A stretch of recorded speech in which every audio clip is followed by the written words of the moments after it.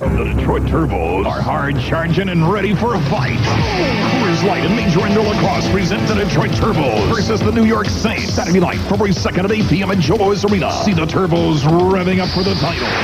Hang on to your seat. See the Turbos and the Gait Brothers humble the Saints. Hard-hitting, high-scoring action. Detroit Turbos Lacrosse. Major League excitement with a stick.